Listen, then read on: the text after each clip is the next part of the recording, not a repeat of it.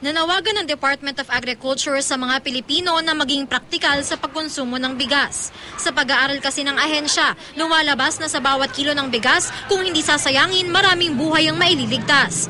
Kaugnay nito, isang signing compact ang sinagawa ng pamunuan at mga empleyado ng Department of Agriculture para sa pagpapalawak ng kaalaman kaugnay sa pagkonsumo ng bigas. Sa wastong pagkonsumo raw ng bigas, makakamit ng bansa ang sustainable rice production. Hindi na rin daw kakailanganin mag-import.